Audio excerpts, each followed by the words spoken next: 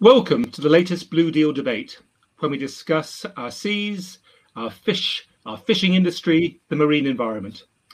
I'm Chris Davies, uh, a former chair of the European Parliament's Fisheries Committee and a senior advisor with Rud Pedersen Public Affairs in Brussels. And it's thanks to sponsorship from Rud Pedersen and their team that today we're discussing the issue of the landing obligation, the so called ban on the discards of fish, and the new measures being proposed by the European Commission to introduce controls on the way in which fishing is carried out. That's very topical because although the Commission actually proposed this legislation back in 2018, the European Parliament has only just voted on it uh, within the past few weeks. The Council, that's the governments of Europe, has yet to come up with its opinion.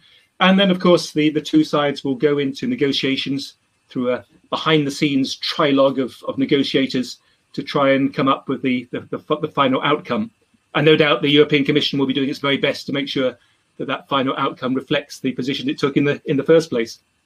Right. Well, with me, I would like to introduce my guests, and that's uh, from the European Commission, two heads of unit, Valerie Tinktank, Tankink, sorry, Valerie, uh, Tankink, and Francesca Arena, from um, uh, well, from the European Parliament now, but formerly from WWF, uh, Janica Borg, uh, a marine biologist, and um, from Life, that's the Low Impact Fishers for Europe, Brian O'Riordan. Brian, just to, just explain what is a low impact fisher? Good afternoon, everybody. Uh, thanks, Chris. Uh, Life was uh, launched in 2012 on the eve of the new uh, common fishing policy, the 2014 uh, reform process. And that highlighted a major difference between what was considered small scale uh, vessels below a certain size using non-towed gear and the larger scale vessels essentially using trawls and other mobile gears. So it was quite apparent that uh, the whole issue of small scale fishing really hadn't been given proper consideration in previous CFPs. And at last, in 2014, there was an opportunity for the small scale uh, fishers to come together and make their voices heard. Well, and one just, thing, one thing they wanted to make clear was that um, impact on the seabed, impact on the fish stocks can all be reduced by using gear that is selective and works away from the seabed. So this, in essence, passive, is passive gear. Is that right? Not mechanical. Passive gear, non-towed. It's described in um, the um, EMFF or the EMFAF as it is now as vessels under 12 meters using non-towed gears. So yeah, non-towed gear is passive gear, hooks, lines, um, nets, uh, uh, okay. generally which work off the seabed. Let me just say that. So that's a, that probably represents the vast majority of the people that actually call themselves fishermen in terms of numbers, but they only catch about 5% of the total fish because the big commercial, the big industrial boats, if you like, are the, uh, are the real catchers.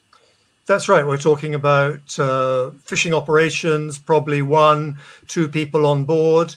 They fish for 12 hours, possibly less, maybe as long as 24 hours, but they're just fishing in the coastal waters and they're bringing their fish fresh back to port, landing a few kilos a day. But as you say, it's about 5% of the catch overall, according to the STECF statistics, and 70% of the fleet, uh, around uh, 50% of the employment. Obviously, that varies from sea basin to sea basin. Grand. Okay, thanks very much for, for that. Now, let's put our debate into context. Uh, it's about 10 years ago that there was a big campaign uh, which highlighted the fact that it is normal practice for fishermen to discard, to throw overboard, to pump out uh, fish that they, they don't want to land for, for a variety of reasons. And this caused a lot of outrage. I mean, people were just horrified that perfectly good protein, if you like, was being caught, killed, and just thrown away. Uh, and that led to uh, proposals being included in the reform package for the common fisheries policy to introduce a landing obligation to require fishermen to to uh, to bring everything to uh, to port. Now, the rest of that uh, regulation was intended to promote sustainability, to ensure that we start rebuilding our fish stocks, and it's been remarkably remarkably successful, I think, over the last decade in in doing that. Fish stocks are at a much greater level than they were a decade or, or more before. But the landing obligation, well, that's a that's a different matter. So tell me, um, who should we go to? Let's uh, uh, uh go to Janica. Janica, why why uh, why do fishermen throw fish overboard? It makes no sense. Well, um, as not being a representative for the fisheries sector, um, from my point of view, it's a business. It's a business, and, and you need to make this business lucrative. And um, why would you throw over fi- overboard fish? Well, that fish is not the one you want to catch, or it's uh, it's not the the proper quality of fish. This is a bit backwards though, because the main point uh, that I think everyone in this room, but also everyone who works with this issue, is that we want fishing to be able to continue and we want it to be able to continue long term. So this is why we're having these uh, discussions, and this is why we are having all of these um, landing obligations, uh, the CFP. We're working on it to to make sure that we can do this not just for the next 15 or 20 years, but in fact for the next 50 and 100 years. And I just want to have this said at the start of this discussion. This is what where we all start at, and I'm sure we can all agree on this point, how we do it and where we shall restrict it. That's, I guess, where the debate starts. Valerie, how much fish was being over, overthrown thrown overboard? I don't have the figure right here, but just to uh, to follow up on what Janica said in your question on why do people throw fish overboard, it's very much there's different reasons, and what we're really trying to see is the difference between on what fits into that. Really trying to move to more selective fishing and finding ways to incentivize through the regulations, but also other ways that uh, fishermen choose the most selective gear that there is, and that's so that they only land what is really unavoidable. So the proposal was to the discard ban, the landing obligation was to try and ensure that there was less waste, to try and ensure there was more selective use of fishing gear so that you weren't catching the fish you didn't that didn't have commercial value. And of course, you also wanted good st- statistical information so that scientists could assess the state of the fish stocks better. Yeah, yeah, no, indeed. And uh, when I say see figures saying that you know millions of tons, I mean substantially more than a million tons of fish were being thrown overboard in this way, is that figure realistic? Uh, well, we're looking at the moment, the, the figure at the time that was the best estimates that were there at the time, of course, of the reform. We are looking at the moment to get better figures. It's still very difficult to have a, an accurate picture of how much is really thrown overboard. Um, we, yeah, that's something we're, we're trying to deepen because in the end, it's it all starts with with good knowledge and knowing what's the real situation, and there is still some way to go there. But when the legislation had gone through the whole lawmaking process, it, it wasn't a simple you must land everything. There were exceptions, weren't there? What, what, what, I mean, it's quite messy, really. So what's allowed? What's allowed to be thrown overboard, and what's not? Well, there's there was a whole process introduced with the regulation, uh, slowly uh, stepping into the landing obligation, uh, starting uh, with the Baltic and then slowly uh, going on to to other fisheries. Um, the, we, we, in the run up, and so the, the introduction of the landing obligation, in fact, took from 2015 till 2019. So it's only been two years that we had the full rollout and the landing obligation applicable everywhere. Uh, what, uh, in, in principle, you need to land everything for quotas, uh, species subject to quotas. Um, then of course there the the way the uh, regulation has been designed the way the system has been designed there are ways to to deal with specificities for cases where there are unwanted bycatches for cases where we want to avoid choke situations where the fish fisheries has to stop because because of bycatches for which there's not enough quota uh, and really find a way to adapt it to the regional specificity. One thing that is important eh, with the introduction of the landing obligation it came together with the regionalization. So really this the reform we had in 2013 has been quite a turning the CFP upside down, uh, not only by introducing the landing obligation, which is a huge new thing that uh, needs to be introduced, but also by bringing a system whereby the implementation of the policy is much closer to the sea basins and to the specificities of each fishery. But we've seen okay. clearly that takes time. Huh? yes, well, you know, in the end, we're all dead. So, how much time does it take? Um, Well, um, the fish, fish stocks are doing well, huh? That's what you started in the beginning. Indeed, in the indeed. end, that's no, what we're aiming for. So well, I think on the one on the one hand, you know, you can't you can't challenge. Well, the, the, evidence is there that uh, the the policies of the European Union have changed, have improved. Fish stocks are, are, are getting better. Commercial fish stocks are, are getting better. That's that's that's that's the good side. Um, the bad side, I suppose, is the moral argument. You know, the the the the the, ethics of, of, of just of, of killing things and having no use for them. Um, let me turn to uh, Janica here because the, the, you know you're a marine biologist. One of the exceptions is that you're allowed to throw back. I think I'm right here, Valerie.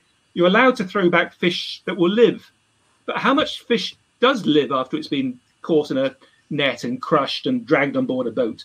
Yeah, so this really comes down to the gear that you're using. The different gear have different survival rates, uh, but also depends on the fish. So there are studies that say that, for example, salmon species uh, are better at surviving, for example, after being even lifted out of the water, uh, whereas some other species are, are take uh, damage instantly.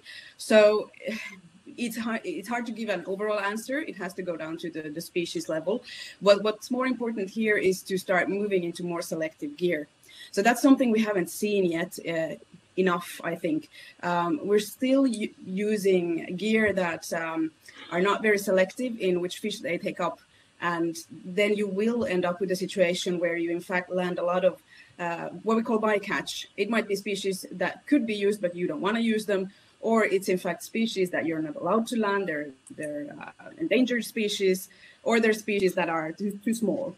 So this is a development that we really need uh, to make sure that we come away from this discussion of should we throw it overboard? When when can we do that? And when can we? Can the bigger fishing fleets, in particular, the the the, the high end impact fishers, could they be using more selective gear? Yes, uh, uh, of course, Chris. I think you're aware that uh, trawl nets can be adapted with square mesh panels and uh, uh, various devices you fit in the net which uh, separate uh, different parts of the catch, uh, say separating shrimps from uh, roundfish, uh, flatfish from, from round fish, and so on. But often the investment necessary in these devices is significant. And even when there is money available to fit these devices, we find that there are little tricks that uh, the industry use in order to negate the effects of these selectivity devices because there is, as was explained earlier, there is a commercial incentive. Fishermen are out there to uh, generate a profit. Um, with the increasing price of, of, of fuel or uncertainty price of fuel and other factors, there is an incentive to um, try and uh, negate the selectivity of these gears. And certainly, uh, members of Life have uh, reported they notice, particularly in, in the Baltic, um, use of a, a, rope which is put through the square mesh panel and a very simple slip knot which can be untied. Uh, so if you're controlled, the rope is slipped, the square mesh panel opens, but if you're not controlled, then the square mesh panel is closed. So selectivity devices are there. There are gears by controlling your mesh size, by controlling how the, the, the net is hung in the water. All of these kinds of things contribute to selectivity. I've, I've, I, Brian, I've, I've never heard that before. I've never never heard. I've heard it said that you know the selective gear still needs to be developed. Sometimes I've heard the money argument, although Valerie will probably point out that we have the European Maritime Fisheries Fund, which can support this.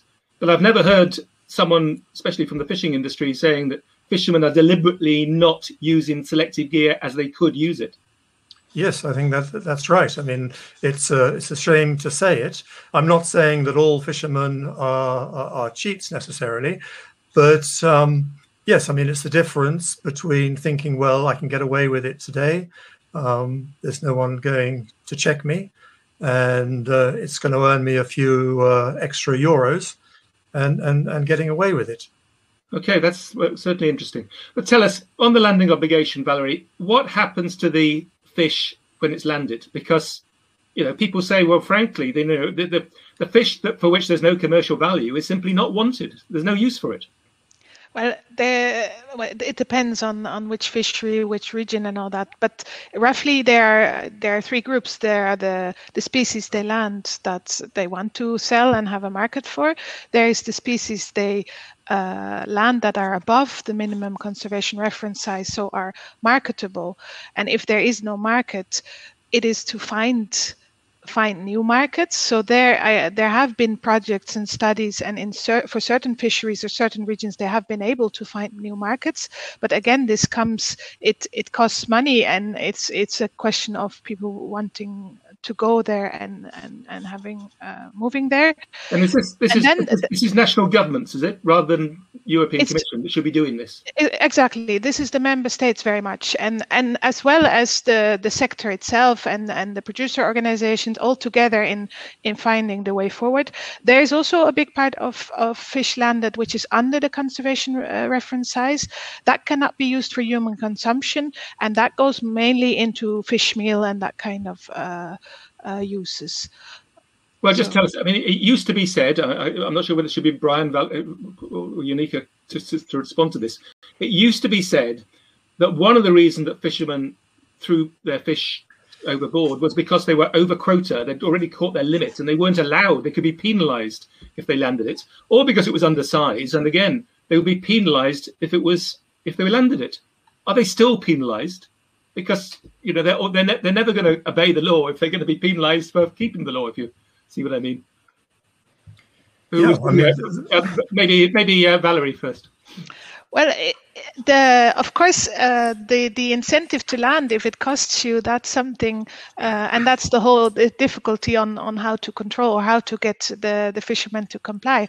But uh, yeah, I mean they have to uh, the the rules are there to to land everything, and uh, yeah. So they don't get they don't get financially penalised for the for the for, for the for landing fish, which is well, it's at it, well, it's at a cost, of course, because if you land, if you throw the fish overboard, it doesn't cost you anything. If you land it in compliance with the rules, you have to do something with it. And if you cannot market it at good prices, of course, it will cost you probably more than if you land, uh, catch only the ones for which you have a market.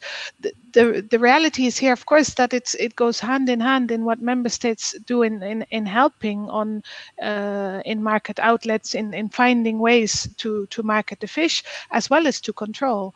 If there's no control, the cost of landing surely is bigger than than not respecting the rules. And Brian, your your fishers, they're if they're land, if they're landing fish that you know they're not going to be able to put on the market, what what do they do with it?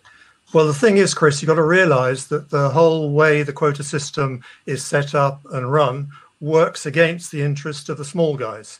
Um, the um, under 12 meter fleets using selective gear, because the quota is now basically concentrated.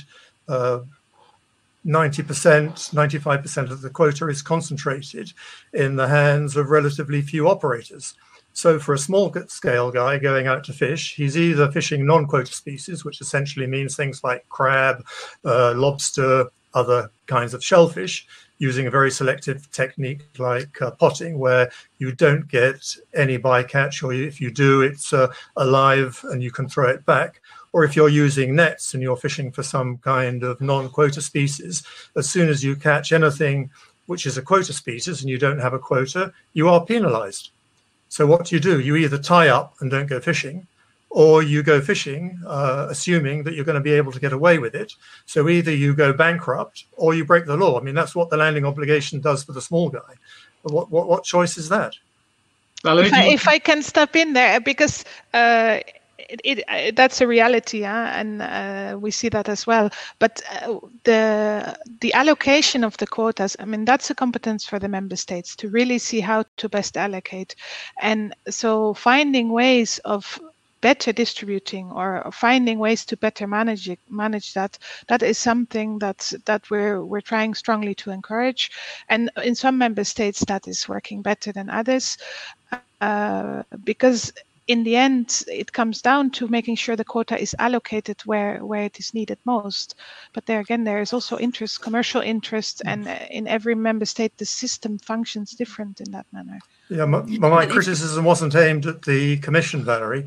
Um, no, it is a, a, fact of life that that is the system yeah. that we have in place, and it does work against the interests of the small guy as as does many other factors. I mean, we do hope, perhaps we'll come on to that later, um, Article 17, which does provide some uh, opportunity, if used effectively, to try and buck that trend. But anyway, sorry, I just wanted to yeah, reassure you. Just, just the reference to Article 17 for those who haven't read the Common Fisheries Policy in, in detail is a short paragraph which basically says that national governments can uh, can can find means of encouraging low impact fishers and and uh, and, and, good ways of, of, of, fishing, and very few, if any, have done anything about it. I think that's the point Brian wants to make. Mm-hmm. Yeah. Now, yep. um, Janica, uh, the, um, the, the landing obligation, ten years on. Mm. Well, is it working? It would if it would be implemented. I mean, it's it's it's a good it's a good piece of legislation, but it's not implemented. And what's interesting just now when I listen to Brian and Valerie talk is there's a catch twenty two in this. Um, we need to know what kind of fish uh, we get out of the sea or crabs what we are fishing we need to know what we lift out of the sea to be able to make proper assessments we need this information to be able to make the assessments to know what we have under the surface um, but but then at the same time as brian said there is um, a systematic if you wait, will uh, that is in fact encouraging the fishers not to bring everything on board. Uh, so, so this, you know, it, it's a it's a chicken and an egg question uh, on on how do we get the very important information from under the surface about our fish stocks that we need to be able to manage our fisheries when they are in fact not helping us. Um, years ago, uh, a decade ago, I uh, started out as a diver. And the first thing they teach you when you become a professional diver is that diving is the most expensive method of collecting data. So uh, good luck getting employed. And this is something we see now. Uh, you know, we are talking about fish which are in fact under the sea, and we don't simply allowing good protein to be thrown overboard. There will be a discard discard ban, a landing obligation, and ten years on, it's not in place. I mean, because member states, governments are not enforcing the rules. Fishermen are not obeying the rules. Europêche, the voice of the really the voice of the the major fishing industry, says it's unworkable. I mean, maybe it's unworkable because its own members aren't making it work. Maybe because governments, maybe the legislation is badly framed. I, I don't know, but one way or another, Janica, you, you would agree it's not working, is it? Uh, today, it's not working because it's not implemented. Uh, the intention is good, but the but, but if there's no if there's no market for the fish, I mean, what's the difference between throwing a, a, a, fish that's dead back in the sea where it will be eaten by something, of getting a fish that's dead and landing it on board where or on, on land where it will rot? So um, there are markets on land that you can in fact use these fish for, but it's not the most lucrative market. Um, and as we heard, some of them end up in, in fish meal. Um, so yes, it's not what every fisher fisher would like to do when when you're in fact trying to survive and, and, and making a living of fishing. You don't want to bring in a, lower quality product. Um, the to answer your question, Chris, whether it should be thrown overboard where it's eaten, well, it's still dead. You know, it's it's a, it's in the food chain, it's in the ecosystem. It is the protein stays there, but it's still a dead fish that affects the fish stocks. And especially if it was an undersized fish that didn't uh, mature before it was caught and killed, then it doesn't do its part in upkeeping the fish stock and, and making sure that we have a sustainable fishing. So we need to be able to um, control this part. And this is again why I mentioned about the selected gears, because we have the selected gears. And Brian, I'm quite shocked to hear you say that they are there, but the fishers are not using them. So I would like to hear from you. How, how, can we make sure that they, they start using them? I understand it's a business. Is there any other opportunity than just having more surveillance on board of the ships. I'm going to bring Brian in. You mentioned control, though, uh, Janica, and uh, um, Francesca's been very, who's dealing with control, the control regulation, has been very quiet there. So I shall bring her in, in a moment. Brian, have you got a quick response to, to Janica's, uh, Janica's point? Well, I think probably the incentives for using selective gears aren't there. I mean, if there was an incentive for fishermen to use them, then I'm sure they would be using them. I mean, they are there, um, but yeah, the question remains: uh, why aren't they using them? I'm afraid I don't really have any answer to that. I, sh- I should emphasize, Chris, that um, I mean our organization is a membership organization. We don't represent the entire fishing sector. We represent our members, and the members of Life have in fact signed up to a commitment to fishing in a low impact way. Um, not all segments of the fishing industry have done that. Yeah, thank you. Very Thanks, thanks for that. Because our next debate will be on the Mediterranean, the, you know, perhaps the most overfished sea in the world, and where there was a lot of small scale fishers who are no doubt, in one way or another, contributing and, and need to be. Uh, you know, we need to find uh, solutions which which bring them uh, into line and on board. Valerie, just before I, I move on, this issue of um, you know the fact is there is nothing to do with the fit, some of this fish when it's landed because it's not commercially valuable. If member states, if member state governments wanted to wanted to to take uh, advantage of the of the funding that's available from the European Union, if they wanted to to create some sort of greater incentive for fishermen to land the fish, could could they do so? Are there any yes. good examples?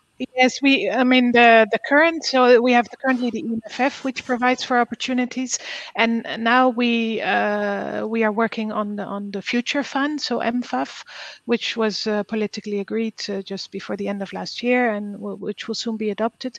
And in in our discussions with the member states, we're very much seeing on how they can include concrete funding in their operational programs for uh, also for for these issues.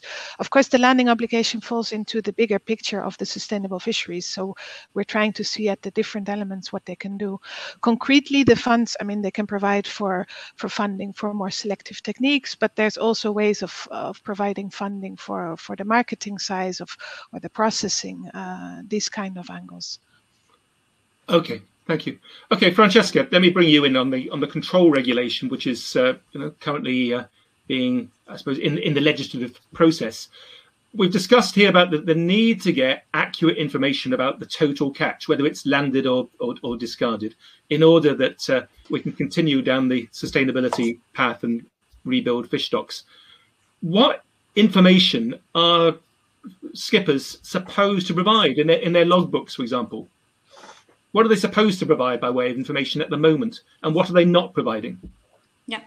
So thank you, Chris. Uh, well, the uh, the legislation is quite clear on what skippers need to provide, irrespective of the landing obligation. All skippers are supposed to record uh, what they have caught and what they have discarded. So even if they don't land fish, but the fish is discarded, since the entry into force of the landing obligation, they should clearly record what they have discarded, up to 50, more than 50 kilograms uh, per, per species.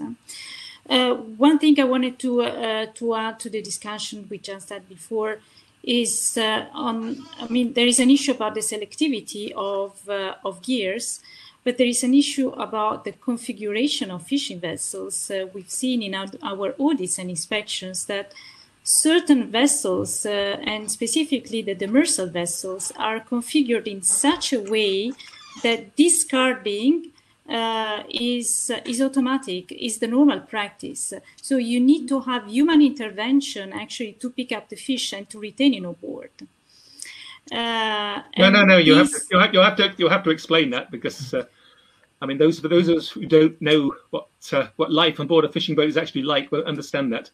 So when yeah, you say so that actually set there up, are, there, there, are certain vessels uh, which uh, are set up in such a way that once you bring fish on board, they are automatically discarded unless there is a human intervention to retain the catches on board.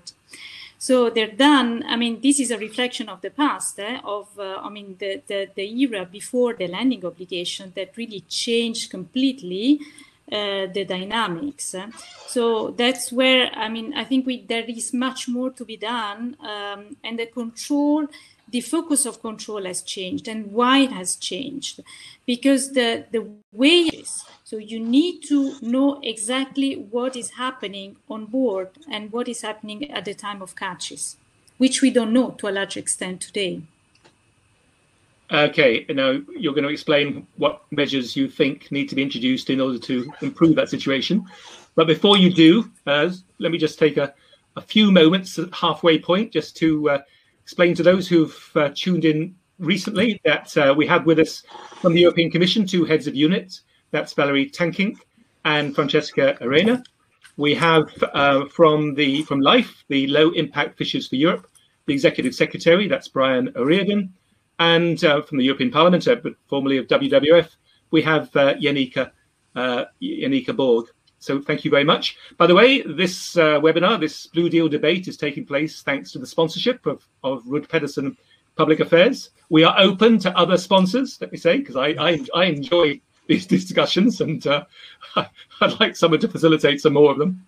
And uh, if you wish to uh, send in a question on the chat box, please do and uh, in half an hour's time, we'll try and address those that are sent in. So thanks. Let's get back to Francesca. Look, this this first of all, do we trust fishermen? I mean, or, or is it simply that there's there's a number of people that that that don't keep accurate logbooks, don't submit accurate information, have bad practices such as those that Brian has, has suggested, and it sort of contaminates. You know, the bad apples contaminate the the whole do we trust fishermen to provide information, or do we think they have to be commanded and controlled in some way? Well, uh, I think, I mean, we can only base ourselves based on the data we have today. Um, what we know uh, so far um, is that, I mean, the evidence we have is that uh, the landing obligation is currently not implemented. Uh, and that has, I mean, clearly been said by, by the other speakers today uh, there is a great incentive not to apply the landing obligation and to keep discarding uh, fish at sea. Of course, I mean we can't we can't compare all fisheries. We can't compare all fishermen, as, as Brian said. The situation is different uh, depending on the sea basins, depending on what you catch. But overall, from the information we have, uh, there is clearly evidence that discarding is still taking place at sea to a large extent, and that uh, the member states today are not applying effective control measures to implement it, to control it, to implement it, and to enforce it. Of course, as long as you don't have effective control and monitoring, it is very difficult to imagine that the landing obligation will be fully implemented one day. Brian, it's a bit difficult for me to ask you to put your put yourself in the position of of uh, fishers who are are not obeying the rules. But but what's the motivation? I suppose it's simply.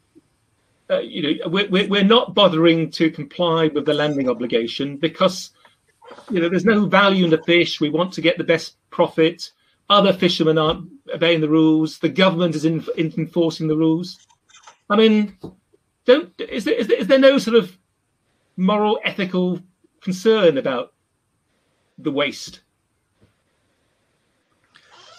Of course, there is, Chris. I mean, you hit the bottom line rightly, I think.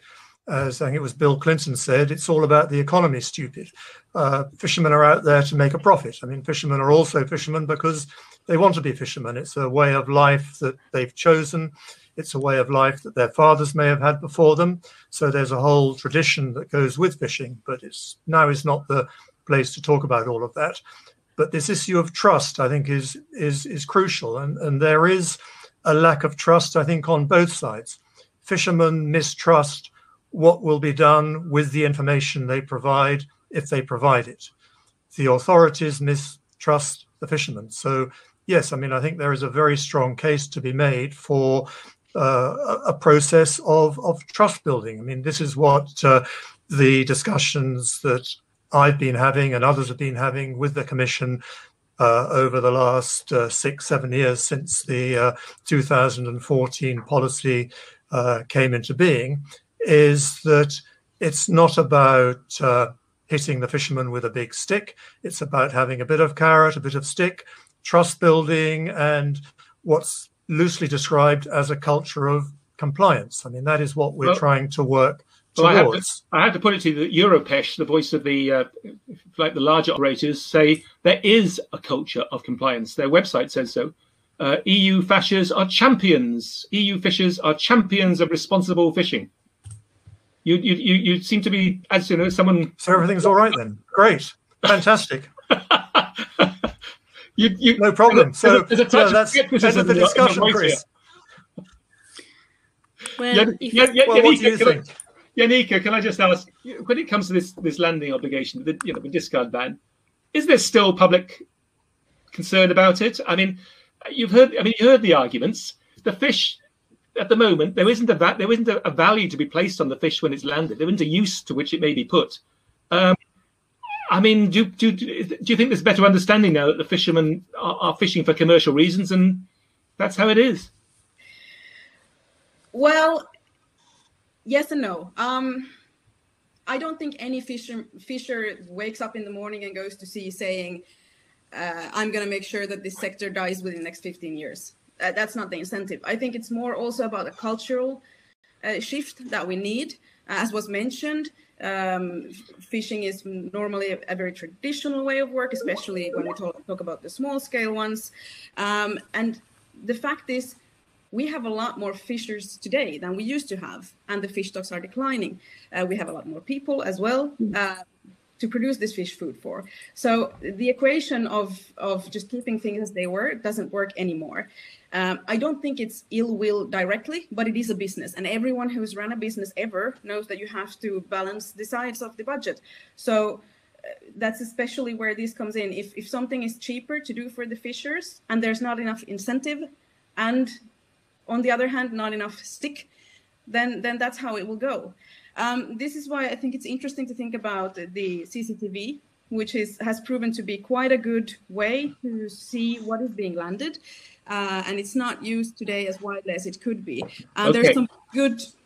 I'm just going to tell you. I'm, I'm wrapping up. Um, there's been um, uh, when you look at the data collected in fisher, uh, by fishers and, and uh, on fishing boats, whenever there is an observer on the boat, uh, the data is completely different. Suddenly, you have the small species, you have the undersized species, compared to when the same boat doesn't have an observer. Now, I'm talking generally speaking uh, on the fishing sector. Um, we can't have observers on the boats all the time uh, that's expensive and that's uh, impossible. We could start to work towards so what was mentioned earlier about the CCTVs and and having that uh, connected to a remote electronic system to to have the observer effect there. Just I'll just pick you up on one point before moving on to Francesca and, and cameras. Um, and that, that's the point where you made suggested that uh, we were overfishing, we were still fish stocks were declining. Globally, I don't disagree with you, but uh, I think you have to have to admit that the commercial stocks are in a much better state than they were a decade ago now around the, the around Europe. Around Europe, yes. Okay. In some seas, Chris, I think if you look at the Mediterranean and the Baltic, that's not the case. Uh, yeah, and the Black Sea. Um, and indeed, watch yeah. the watch the next program, which I think is in the first week of May, where we'll be discussing that that very issue.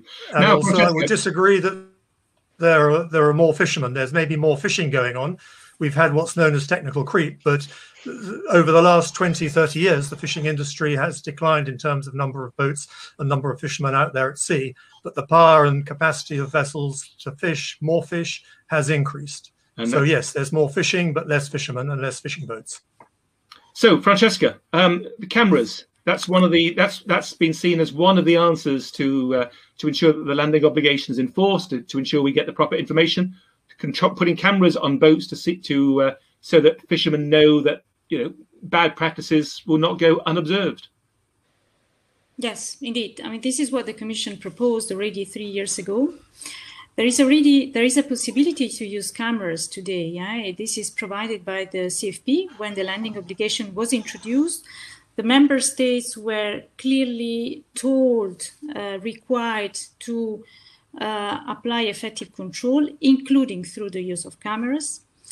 Unfortunately, this hasn't happened so far. Uh, um, it it is in a way understandable that uh, if member states and also the industry, I mean, accept the cameras, uh, this is done at the same time and equally for everybody. It shouldn't be just for one member state or one region or one fishing fleet. So that's the reason why when the we uh, presented a review and a proposal for a comprehensive review of the fisheries control system, in the EU, and that was back in May 2018, the Commission came up with uh, a proposal to effectively control the landing obligation through the use and installation of cameras on board matched with remote electronic monitoring systems. Uh, of course, we, we were also aware that we couldn't uh, think of uh, installing cameras on each and every vessel, I mean, of the large EU fleet, and not all vessels bear the same risks. So what we had proposed was to limit the installation of cameras only to high-risk vessels based on a methodology which has been defined by the European Fisheries Control Agency. So the proposal by the Commission is there, and as you rightly pointed out at the beginning of your intervention, uh, this is uh, uh, currently being debated by the two co-legislators, by the European Parliament and by the Council. Yeah, but um, Europêche, the, again, the, the voice of the uh, the major fishing industry, if you like, the fishing sector, says this proposal is about intrusive control. It ignores data protection and business confidentiality, and it goes against workers' rights. I mean, those are pretty damning criticisms, are they not? Yeah, but this is this is not new. Uh, we are we are I mean, um, the fact that it's not new doesn't mean it's not. It's it's it's it's not new, but it's a criticism uh, which uh, I mean uh, can be. Uh, um, which is uh, which is, has no reason to be uh, to be let's say put forward, and I tell you for three main reasons: eh? the where, the where, the what, and and the why. First of all, we are not thinking of placing cameras in private areas of a boat.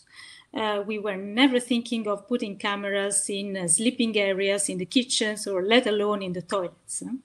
So the cameras would only be placed in uh, areas where the catch is handled, is put on board, is placed on board, and can be uh, can be handled.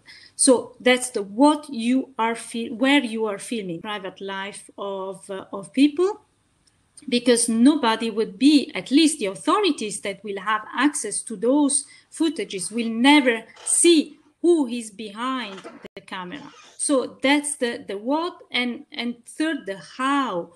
Uh, nobody said, and we never said in our proposal, that the videos will be placed on YouTube. The videos will only be available upon request to the authorities and to the fisheries control authorities, and exclusively and uniquely for fisheries control purposes. So, for these three reasons, though, the where the cameras are placed and what they're filming and how the footages will be treated, I don't think that there will be any issue uh, with data protection.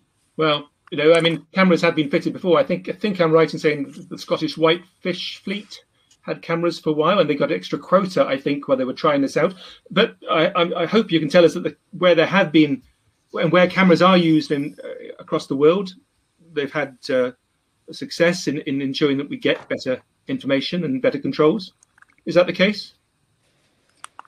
Yes, uh, that's the case. It's uh, first of all, it's not a new technology, and uh, it has been introduced by by other countries around the world. Not necessary to control the landing obligation. And landing obligation is not a policy or the discard ban, which is uh, widely has been uh, um, widely implemented uh, um, by by by other third countries. But cameras are, for example, for example, widely used in certain fisheries for for control to control the uh, the catches of sensitive species, for example, bycatches. And this is another uh, great advantage of having cameras on board. You don't just have the possibility to better ascertain whether or not there were illegal discarding events, there can be much better information on the uptake and catches of sensitive species, also for scientific purposes. You can also control illegal transshipments, for example, taking place. So there are many more uh, benefits of, of, of, cameras than just the landing obligation. But coming back to your question, yes, there are examples of using cameras, for example, in New Zealand, in Australia, in Chile, for example, they have used cameras even on small scale vessels just touching on small scale, Brian, uh, I see in, in Denmark there's a number of small small scale under 12 meter vessels that have got cameras because they I think, to protect harbour porpoises or to fish in areas where there are harbour porpoises and things. So even small vessels sometimes have, have cameras fitted. Yeah, I mean, it's a question of finding a means of fitting them on a small boat where they're not going to interfere with the fishing operation or make the work uh, difficult. I have even seen them uh, used in research projects, small GoPro cameras fitted on bobble hats, monitoring the fish as it comes in over the net Well, corner. So, Yeah, uh, ski, yeah. you know, it's it's it's uh, de rigueur. can be done. De rigueur for a skier, isn't it, to have a camera to their their hat? that kind of thing and using fish identification technology so you can use uh, like these facial re- recognition technologies you can apply to fish uh, as you do to birds and plants you can get apps on your mobile phone which can identify the fish species for you And I think Francesca, you're you're taking it's not just about cameras; it is about this other electronic, you know, recognition Yeah. technology too. it's much more than cameras. I mean, a camera per se uh, is not sufficient. You need to have a whole set of, I mean, the technology that is combined to the cameras. You may also have sensors uh, that are used in combinations with cameras to identify possible instances of uh, discarding events. And above everything, you need to have a computer vision technology uh, used uh, by uh, by the authorities uh, like the one that Brian was mentioning, the facial recognition, there are a number of uh, studies and projects being carried out by the member states for scientific purposes. I think we saw one in the parliament recently presented by the Netherlands with promising results that is using artificial intelligence. So, uh, unfortunately, this artificial intelligence has not been so far so much i mean much implemented in the in the fishing industry but the, the technology is there and is being used in many other sectors so it, it is definitely promising Thank you. Just um, tell me, is it the case, uh, if I recall correctly, when the landing obligation was was introduced, fishers were given an increased quota because they were being required to land all the fish they would otherwise discard? Do they still get an increased quota despite the fact that the landing obligation is not being respected? Um, maybe is that a question? maybe- maybe- yeah, sorry, Valerie. Uh, yeah no um, so in the indeed as francesca said before we we changed from a system whereby it was based on the landings to it being based on catches so th- there's indeed a difference over time the situation has now changed with the full rollout of the landing obligation is that where before member states were getting the so-called top-ups uh, to, to deal with with that difference now it's I, I hear the answer, but I don't understand it. Um, do, do are fishermen getting an increased quota because they're supposed to be complying with the landing obligation, but they're not? Uh, yes, I think. Well, no, not anymore. But the Well, the quota was question. Are they- increased. The Are they not? quota- If they're not, if are they not? If they're not getting it anymore, that's that's okay. But uh, you know, if they given the landing obligation is not being respected, if they are have had an increased quota, then you know that uh, is un- undermining everything we're trying to achieve, isn't it? yeah. And couldn't you, well, okay. Wait, were you, I just because it just seems to me. I mean, bringing Francesca here. I mean, you want an incentive to to to to for fishermen to to to install cameras so that you're you're you're you're bringing them with you rather than you're fighting them. Um, surely, you know, an increased quota in return for fitting of cameras and in, in return for having you know 100% accurate information. I mean, that's a that's a reasonable incentive, is it not? Uh, yes, and there's there's ways of looking at that huh, on, how, on how you can incentivize specifically for those that comply with with with uh, pilot projects and all that. Currently, uh, as I say, the situation is such that the quotas are set on the basis of scientific advice, so on the reality, what is the state of the stock, what is the quota, and currently. Uh, the introduction of the landing obligation, there was a transition, but now we are there that we are basing it on scientific advice. So uh, that's the reality. So it's not about who complies or who does not comply. That's the reality of the best available knowledge we have. And then when member states ask for for the exemptions, they have to come up with the justifications, which are scientifically assessed. So it's it's a different uh, process compared to uh, pure what is happening in terms of compliance, but it's science-based what we're, we're doing in terms of the allocations. Thank you. Francesca, one last question before before we sort of come to a wind up on, on, on this. And it's just about the, the monitoring of, of engine power of vessels. Oh. Um, because the, the Commission presented a report to uh, the European Parliament's Fisheries Committee when I was chair back in 2019, which yes. highlighted the fact well, it revealed the, the fact that manufacturers were quite deliberately falsifying the engine power of their of the engines, actually underplaying how powerful they were, with the consent of the people who are buying their engines. You know, because because there's regulations on how powerful that vessel can be, because that uh, that that affects the degree to which that boat is capable of catching fish and what fishing grounds it can it can reach in a day and and, and such like. And so there was actual falsification of this this this data, and member states governments were, were, were doing nothing to enforce the rules. So, are you what are you proposing? What do you think you can do about this? Because it was it was shameful.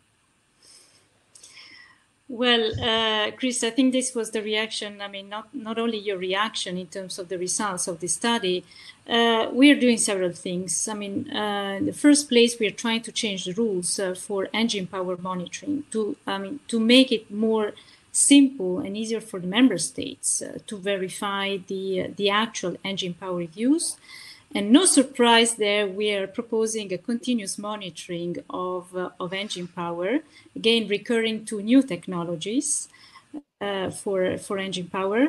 There isn't much buy-in of, of this proposal by the Commission, I have to say, unfortunately. On the other hand, by, by, the, uh, we, by, by, governments, do you mean? yeah, in, in general, also by by the operators. Uh, I mean, there is, uh, I mean, this there the, the the fact of monitoring engine power is not well uh, accepted, uh, which in a way uh, is an indication of the fact that in many cases uh, the uh, the engine power declared in the in the fishing license perhaps uh, is not the correct one. But secondly, I mean, we can't just think of what the legislation will be in two, three, maybe four years' time. We still don't know. We are also working in parallel with all member states to make sure that they reinforce their controls and their verification of engine power right now. Okay, right. Look, um, we're coming to the end of our hour, so let me just uh, ask uh, contributors here about the landing obligation, about what needs to be done. Pos- positive thoughts. Um, um, Janica, come to you. Come to you first. What needs to be done to ensure that this landing obligation is respected, or at least if it's not going to be respected, if it's if it simply is unworkable and there is no point landing fish for which there's no there's, there's no use. You know, the object of the game is sustainability. That's that's number one. Build up, rebuild fish stocks, ensure we have a successful uh, fishing industry for the future, which depends on having those those fish stocks. What needs to be done? So I, I still think that the landing obligation is good. It needs to be implemented, and as I said in the beginning, uh, we have to start with the common starting ground, and that's the fact that we all want to fish still after 50 years and more. Um, I think we need to continue developing these things together with the fishing sector, both uh, the, the, small scale that Brian is representing here today, but also the, the large scale fishing sector. Um, uh, and you know, we I, we just heard about the CCTV and the monitoring and how there's uh, possibly uh, and show how much you're catching of which species by having a surveillance on board that, that can recognize these species, then you can show the actual amount of the, the choke species, so to say, and, and work on that so that if you're not catching it as much, then you can continue with the other fishers in, in a mixed fishing uh, effort. Um, and going forward, what I would like to see uh, also is uh, having other biodiversity recorded. So we are now only talking about uh, catches of fish which are under quotas, but it would be very good to see as well um, where we catch cedar turtles, porpoises, uh, other species like this, this to, uh, have this data recorded on a species level for future assessments. We need to be sure, fishers, obviously, fishermen need, need to know that we want the information because that information can help rebuild fish stocks ultimately. But they need to know also that by providing that information, they're not going to put themselves at risk of being penalised in some way. Obviously, I mean, who, who would who would do that? Who who would give information if you're going to get punished for it? Yeah. Brian, any thoughts on, on where we go from here? Well, I'm a landing obligation skeptic, I confess. Um, it's not working. Um, I'm not sure how it can be made to work properly. Uh, from a small scale fisheries point of view, and, and, generally, I think the selectivity has to be done in the water, not uh, on, on land. Uh, basically, the landing obligation has become shifting, uh, uh, dumping your unwanted fish, whether it's undersized, not economic, uh, over quota, whatever, uh, rather than dumping it in the sea, you're bringing it ashore to put it in landfill. I think the markets that were mentioned earlier on in the discussion, in most cases, uh, in most practical situations, aren't workable for the bycatch that is landed. Sure, some of it can go to fish meal, but the logistics of getting all fish to fish meal or to alternative markets simply uh, isn't there. So for me, it has to be done uh, in the water. Trawls have to be made more selective.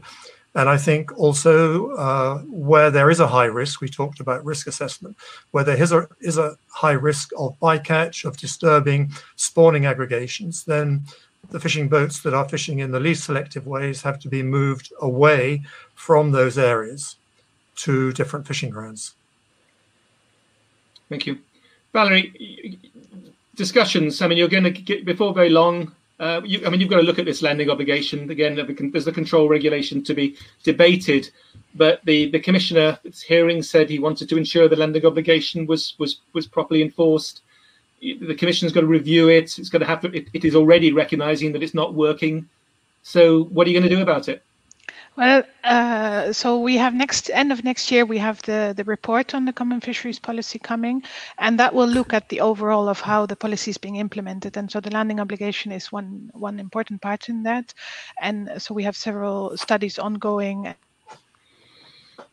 and what I think really needs to happen towards that report, a lot of it comes down also to how we make the regionalization work uh, under the CFP, how we get uh, both the collaboration between the industry and other stakeholders and the member states closer, uh, closer together between them, but also cl- closer to the realities in the sea basins.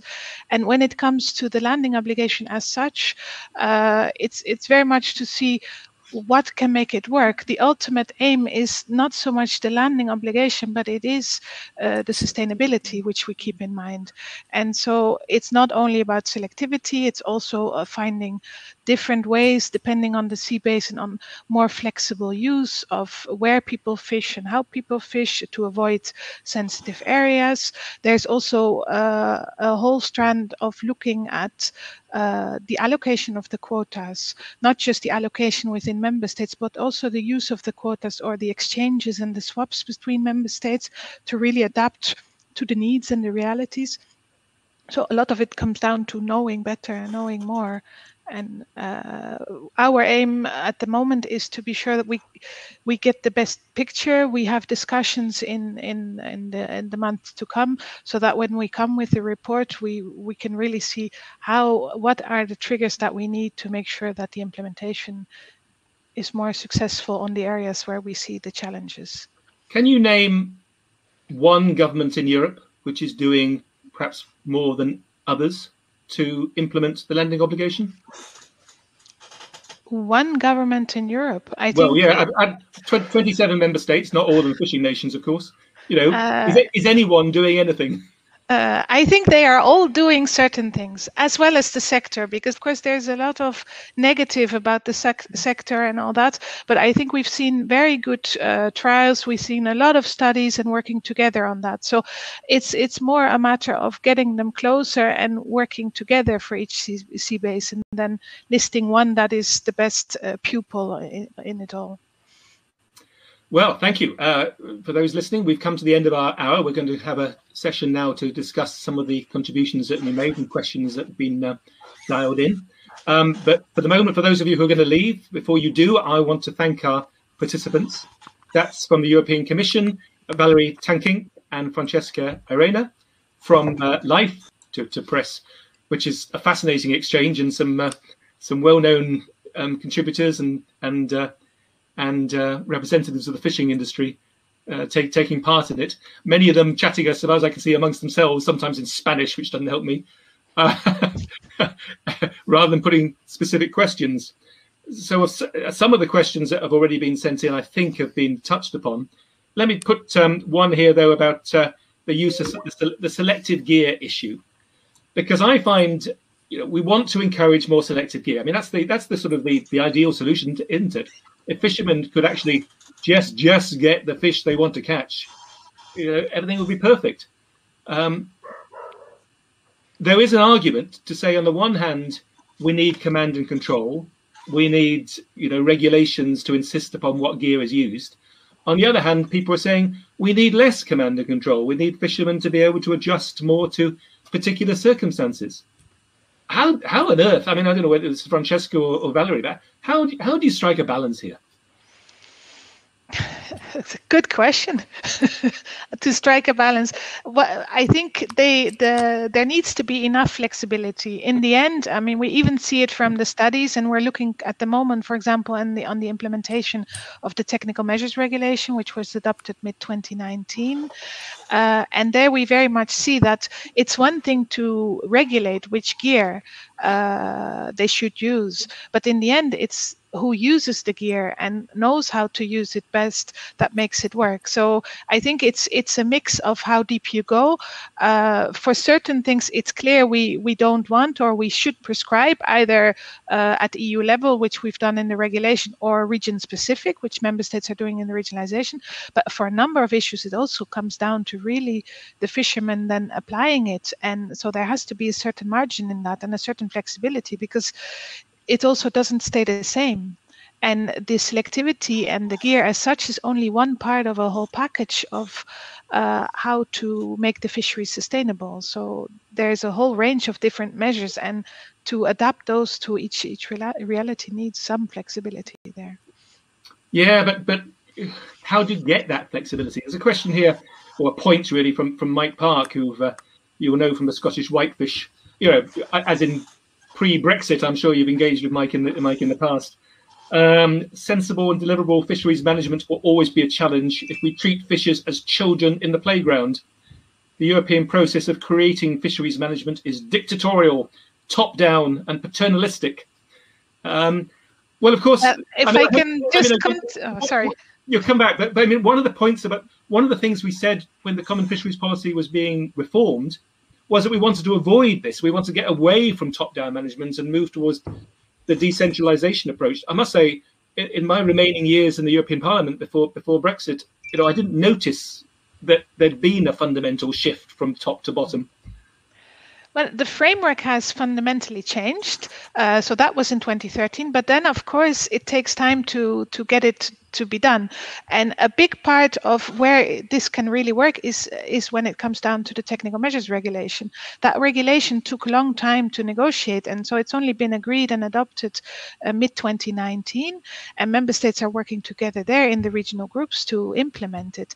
And what is really foreseen there in the co-decided act is for each region specifically what are the measures that are needed in terms of uh, technical measures for fisheries, and the full possibility for for member states and regional groups to adapt them to the reality, of course, based on science. But uh, we, what we're seeing now is that process is starting. Of course, the regulation took time, and I mean, these things always take time, but the shift of going from top down to more bottom up is, is happening it's just not something that happens overnight huh? in not in the eu and certainly not for an area so complex as fisheries brian i take it you'd like it to be very very low level and very sensitive, very, very, very you know, individualistic. Each fishing ground to be managed in its own way. Or am I being simplistic here? Sorry, Brian.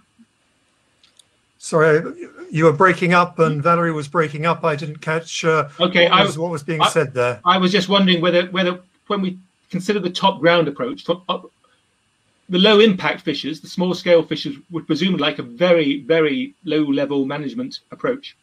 Very well, what in in in LIFE, what we are pushing for, if you like, is a co-management approach, not a low-level management approach, but a different approach, which uh, includes the fishers more as as partners in the management, uh, providing their own data, putting together management plans together with the authorities, and building really uh, this trust we, we talked about earlier between authorities and fishermen uh, and managing it. I mean, we, we talk about defined areas. I mean, essentially, fishing goes on, uh, small scale fishing goes on within the three to six mile zone. I mean, with, with notable exceptions.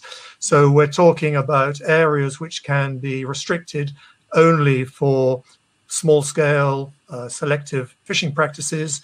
You can manage it because uh, you have responsibility, but you also have rights and duties.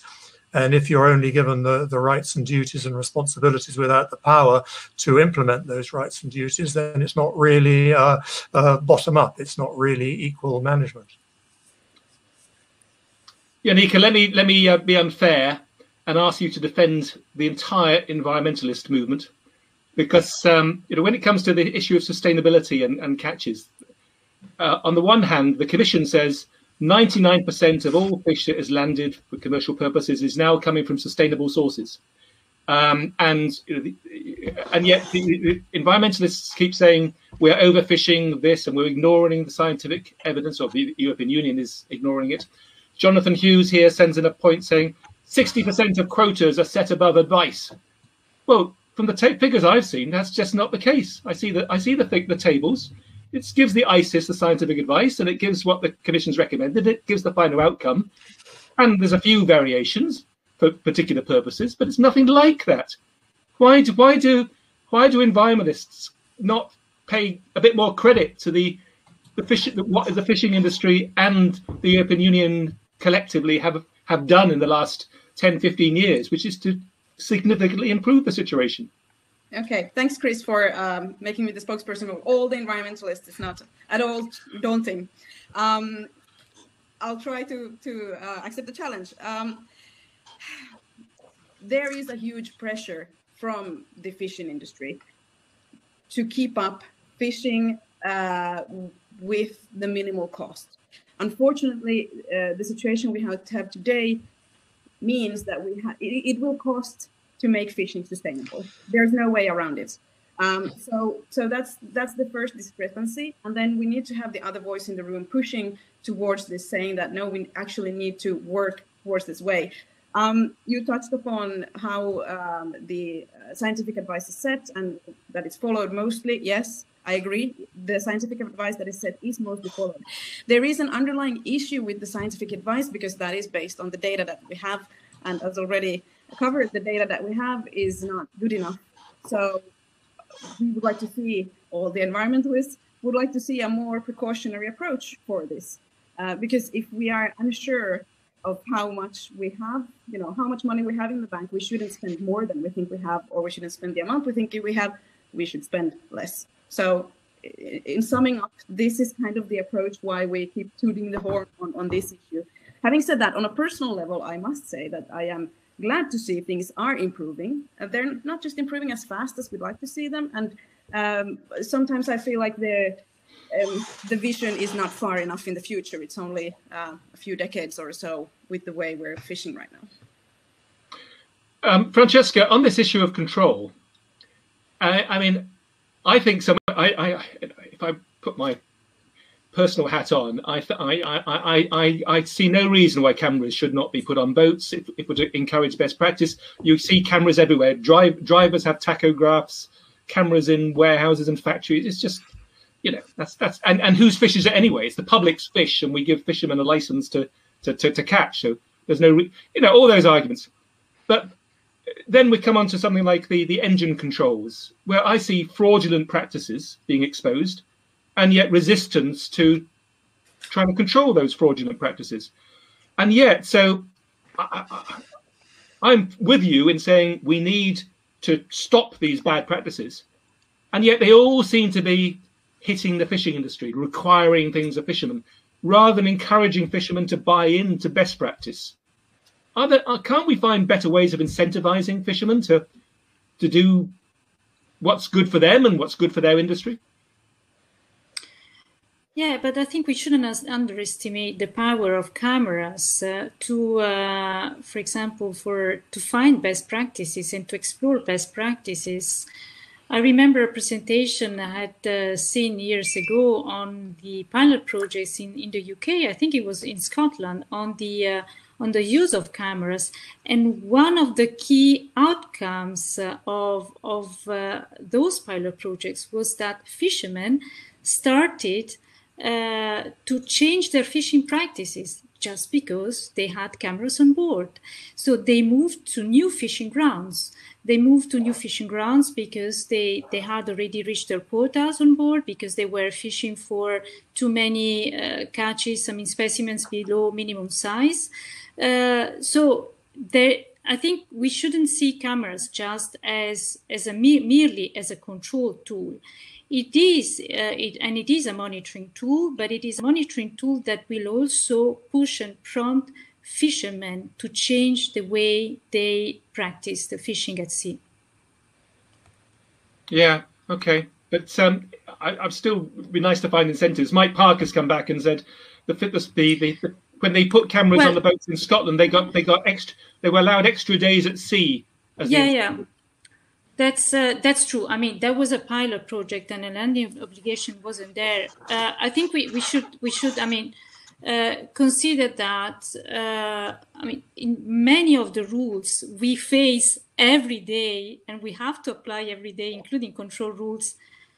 Uh, do we have incentives? I mean, do we have alternatives every day when we are told do this and do that, and put on your masks uh, mask now when you go out? I don't have an incentive to do that. Don't die. Actually, yeah, you know.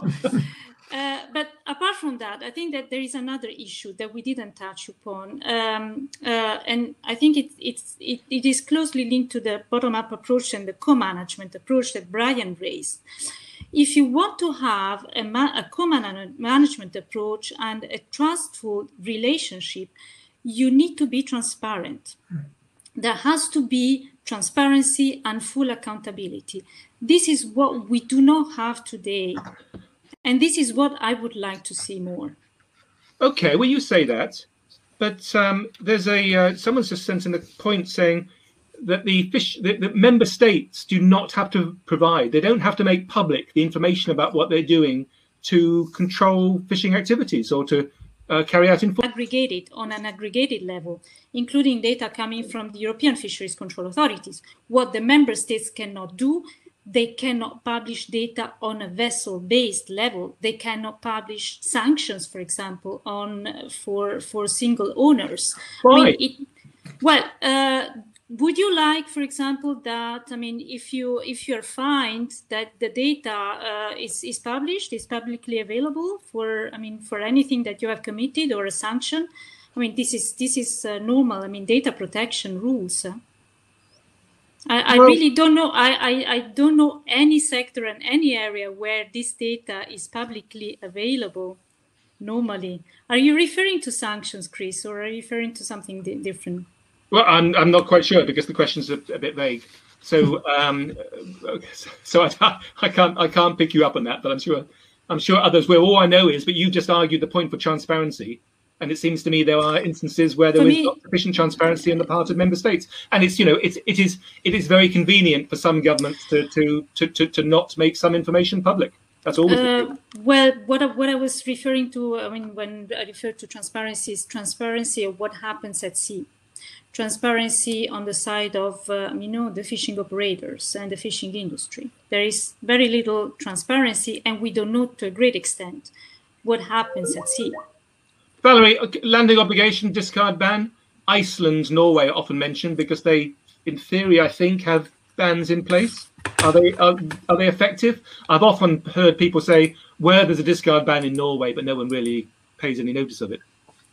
Yeah, I'm uh, well. I I'm not the expert there, so I'm I'm not going to go into much detail. The I know in terms of Norway, of course, they already had the landing obligation in place before we started, and it has been very much a source of inspiration. But their fisheries is very very different. So the reality of the landing obligation uh, for the Norwegian fisheries is surely not the same if you if you look at the mixed fishery we have in certain areas. So uh, and how effective it is, I I, I personally I don't know in, in, yeah. Norway and Iceland. But it's th- those policies exist. It's just each fishery is different there as well. Okay, well, this is not a question any of you can answer, uh, although Brian will no doubt uh, have a good go at it. But why don't member states allocate it? Uh, why do member states give such a very small proportion of their total quota to, to the low impact fishers, to the small scale people? Well, there's a historical reason, Chris, which you, you probably know, which is up until I think it was uh, 2012, uh, the small scale sector were not bound by quota. They could basically catch anything they were able to. But then the um, the regulation on uh, I think buyers and sellers uh, regulation that changed, which meant that the person buying the fish from the fisherman had to have some kind of certificate which showed the fish that he was buying was being caught legally. So that then said, well, how can small scale fishers show that the fish they're catching is being caught legally if they don't have to fill in a logbook, if they don't have to declare their catch, if they don't actually have a quota? So that more or less forced the quota system onto the small scale sector, who had no historical track record because they didn't have to declare their catches. So they were caught in a kind of catch 22, having no quota, having no ability to show they had a track record because the reference period was before they had to declare their catches. So they were caught in this uh, rock and a hard place generally and were forced onto having to fish for non quota species.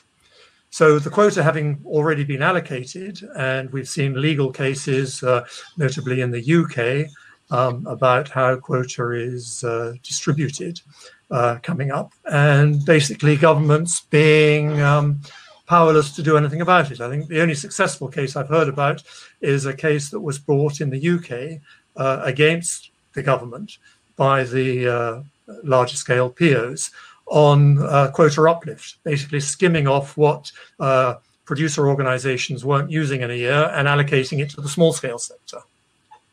That was the only successful thing. But the whole Article 17 um, has been a big disappointment, partly because nobody has come up with a workable definition of what is a social, environmental, or uh, economic criteria, and which should have the priority. Should environmental criteria trump social criteria, or which should have priority? And nobody has any responsibility. So again, I mean, we're optimistic that the 2022 uh, uh, report on the implementation of the CFP will come up with some proposals of how Article 17 can be made fit for purpose and actually be implemented. I hope you've got a position paper ready. Well, yes, let's go for it. Tell me, um, one thing we haven't touched upon is, is amongst the reasons why uh, the discard ban may be ignored, why discard on catching a haddock without revealing the fact that you've I mean, is that the case? That without revealing the fact that uh, uh, you've actually uh, you actually exceeding the limit in the amount you're, you're catching. Now, this is thrown thrown out all the time that the discarding has to continue in order to to stop choke species, but I, I don't see how it promotes sustainability in any way at all. Um, Uh, Janica, uh, is this a real issue? Well, as I mentioned earlier, I, I think if we could uh, have better information on what we're actually um, fishing, lifting out of the sea, uh, in those cases where we cannot use selective gear for one reason or another, then we could work on this choke species issue. At the current uh, situation with the Eastern Baltic cod is that you're not allowed to catch it. There's zero quota for it, but there is a bycatch quota so that it won't become a choke species for, for mixed fisheries. Yeah, and and um, but, but Val- Valerie, you must be having, having this thrown at you all the time because it's uh, you know choke. It's the the industry is always saying ah choke species, choke species. But then I other I keep reading accounts saying actually we've managed to avoid most of the problems of choke species by sharing, distrib- redistributing quota or, or what have you. Yeah, I think the, the issue of choke is, of course, different if you look at the individual vessels or fleets, or if you look at uh, EU-wide. But so, in for when it comes to setting the fishing opportunities, we have seen a few cases only, and there, when it comes to the bycatch quotas, those are based on the advice we get from the scientists about what is really the unavoidable catch. Uh, so not about what people don't want, but really what is unavoidable. So that that we do on that basis. But indeed the flexibility at at the member state level uh, in between the sectors. You have the producer organizations which have a key role to play there for a lot of fisheries in finding a more flexible way of using quotas. Uh, there's the swapping between member states. So there are tools available to make that happen but uh, yeah it depends a bit on on where you are. What's the reality yeah? So can i ask for a bit of speculation here? Um, francesca you're at some point at some point in the next so many months, I expect you believe that trilogue negotiations will, will, will start between the Parliament and the and the Council over the uh, control regulation. Yes. Where do you feel? I mean, are you going to make progress? Are the Commission going to be pushing very hard for its original proposals, or is it going to be adapting them? Well, I mean, the Commission, uh, as usual, is uh, is um, defending its its proposal, and it's defending the principle behind its proposal. Of course, I mean, the proposal can have different shapes at the end, and the co-legislators will define which will be the final shape. But the the key principle for us is to having uh, the tools and effective uh, and robust control tools to monitor, control, and enforce the landing obligation. I have to say that I'm quite hopeful uh, right now, having seen the uh, result of the uh, vote in the parliament, in the plenary, that acknowledged actually that there is a need to, uh, to install cameras and use remote electronic monitoring to, uh, to better control the landing obligation. Uh, that was quite a key outcome of the vote of the March plenary meeting in the parliament. Yeah, I see from the Europêche website that uh, there was complaints that the democratic role of the European Parliament's Fisheries Committee was undermined by the Commission, who appealed selectively to members of the Environment Committee in the same Parliament um, and appealed to them to, to put sustainability and, and, and such like first and succeeded in swinging the vote in the Parliament by, by, by seven or something. Um, I'm not quite sure why the Commission shouldn't do this. It seems perfectly reasonable to right to members of the European Parliament, but uh, you're obviously being heavily criticised. And when you come to the when, and, and whatever the influence in the Parliament, there's bound to be some governments who are listening to the fishing industry and saying we don't want compulsory cameras.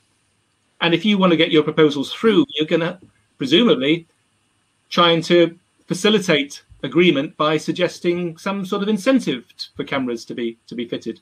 You know, in order to to give the politicians some room for maneuver, some room to agree with you.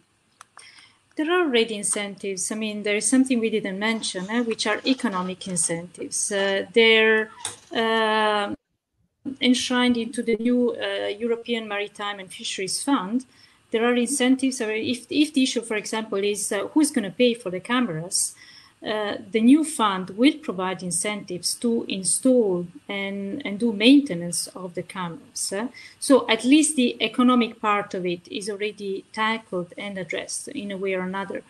Um, more, I mean, I, I, can't, I can't anticipate. Uh, I mean, where this discussion and the trilogues and the political, you know, negotiation will bring. Uh, but one thing for me is clear, Chris. Uh, there is an issue of political credibility for the legislators. I mean, the same legislators that adopted in 2013 the new CFP and uh, decided to move uh, to a discard ban to the landing obligation will have, in a way or another, to create the conditions to control that policy. Uh, so I think that there we, we have an issue of credibility at political level. And then there is uh, the, the request of transparency that is coming from the citizens and from consumers more and more. I see it. Uh, I've been. I don't know. A summary of views, really. Janica had mentioned um, fishing pressures and overfishing, and of course, globally, we know the situation is is, is not good. Um, I think uh, in the Europe around the Atlantic waters of the European Union, much progress has been made of late, but we're still nothing like back to the situation we were, you know, 50 or 60 years ago in terms of uh, uh, the biomass of, uh, of fish, fish in our seas. Um, but there's also talk about greater protection for marine protected areas and, and, and the like. And it all seems terribly slow. But, uh, you know, I would, I think the trend is going the right direction for both the fishing industry and for uh, conservation and the future of our marine environment. Are you optimistic or pessimistic? Who should we go for? Valerie. I'm very I- optimistic actually. I think we have the right uh, frameworks in place. We have the right uh, tools that are there. It's a matter of making it work.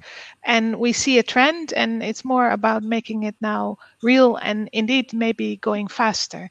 Uh, I think uh, we're, we're in a good place. So, yeah, hugely optimistic. I think we can do it. It's just a matter of doing it all together and going there. Janica, pessimistic, optimistic? carefully optimistic, and I agree with Valerie on the fact that we need to make it move faster. Um, the marine spatial plans are a tool that we could use here. The deadline was uh, two weeks ago, and six member states only had their plans in place in time, which is below par for a directive, uh, for an EU directive. So, and this would help us look at the sea in a general way. So, these kind of things, they're there. Let's use them so that we can get faster and, and, and get to the goal we all want to go, get to. Thank you. Brian? Well, I'd like to be optimistic. I see, I listen to uh, Valerie, I share her views. The tools are there. Um, it, it, can be done, but uh, woeful lack of political will. And still, I see this kind of push me, pull you going on between the Commission and member states.